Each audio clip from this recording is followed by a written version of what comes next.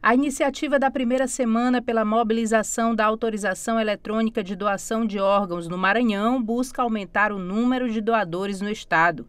Em parceria com o Colégio Notarial do Brasil, a Corregedoria Geral do Fórum Extrajudicial e a Secretaria de Estado da Saúde, a campanha aborda um novo recurso, a autorização eletrônica de doação de órgãos mais ágil e segura. Aqui no Maranhão, cerca de 900 pessoas estão na fila de espera por transplantes de órgãos e tecidos.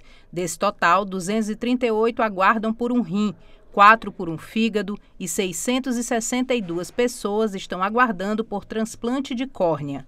Com autorização eletrônica de doação de órgãos, o processo pode ser mais rápido e seguro, permitindo que, ao falecer, o desejo do doador registrado digitalmente seja consultado por profissionais de saúde através do CPF. Esse sistema facilita o início do processo de doação, que pode salvar muitas vidas, especialmente para quem está na fila de espera. O procedimento é bastante simples, ele é todo informatizado. Ele é feito em duas etapas.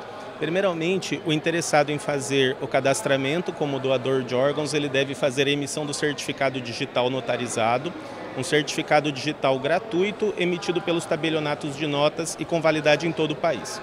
De posse do certificado, ele irá preencher um cadastro bastante rápido informando os dados pessoais e quais órgãos deseja, né, ele deseja ser doador e, em seguida, ele direcionará essa demanda para um cartório e o cartório convidará essa pessoa para uma videoconferência. As atividades da semana de mobilização seguirão até sábado, com ações especiais no Fórum, no Hospital Carlos Macieira e no Emomar, além de um evento no Shopping da Ilha, em São Luís.